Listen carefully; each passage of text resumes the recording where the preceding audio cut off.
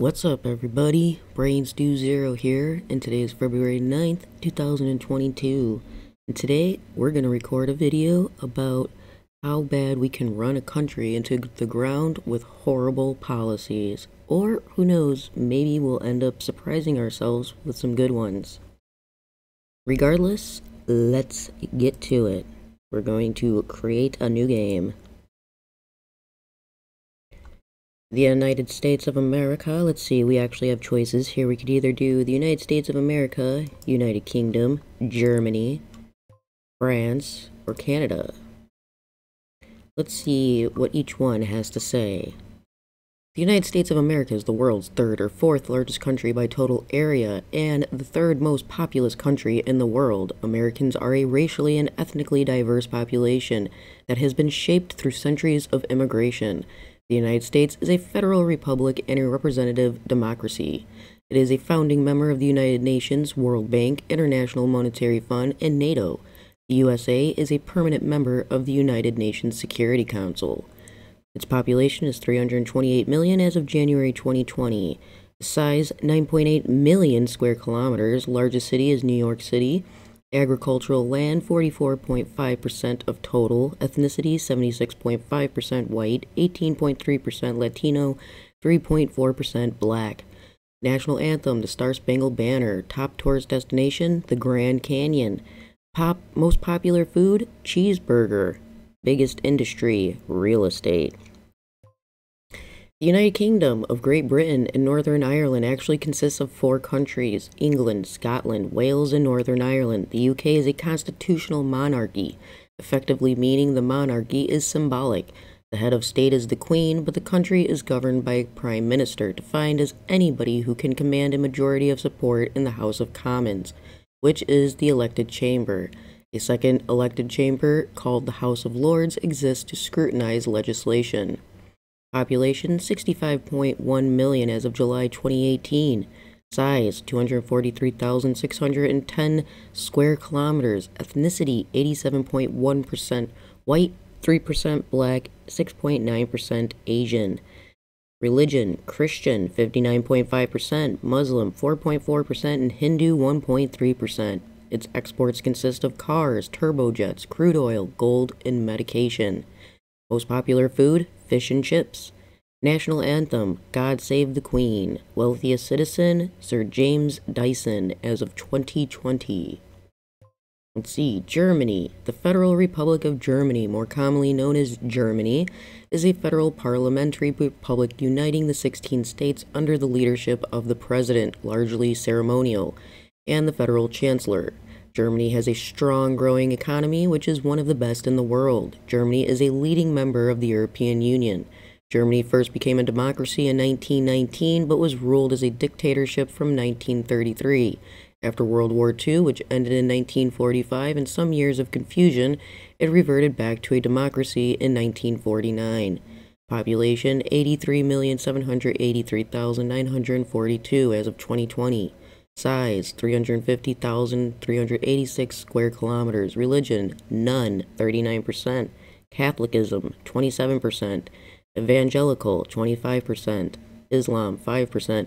Kind of interesting that a majority is not religious at all.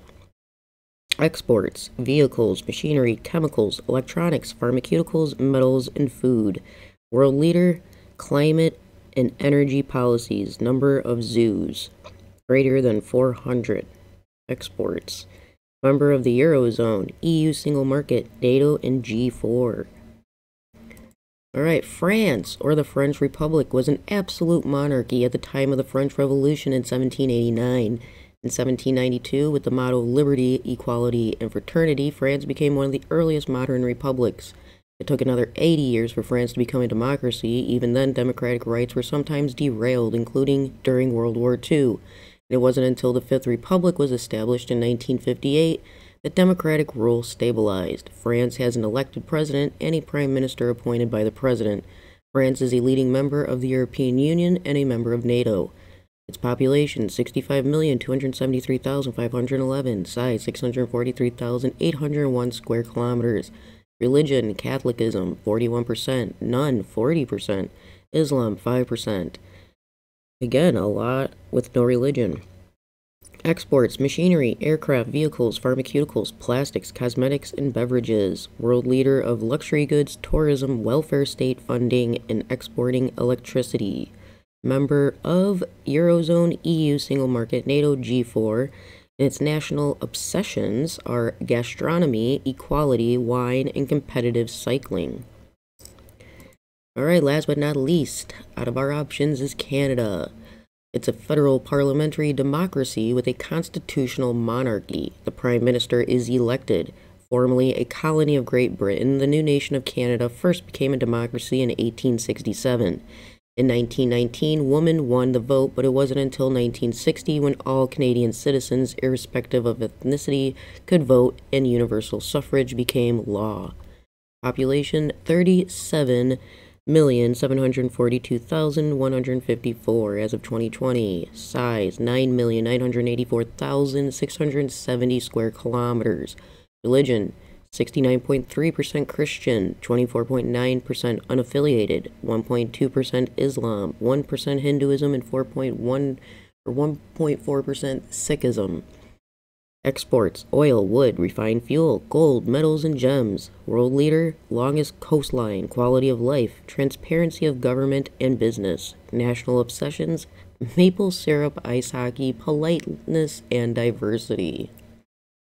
So these are our choices that we get to choose from to play. Um, you know, honestly, there's a big part of me that doesn't want to choose cliche old USA.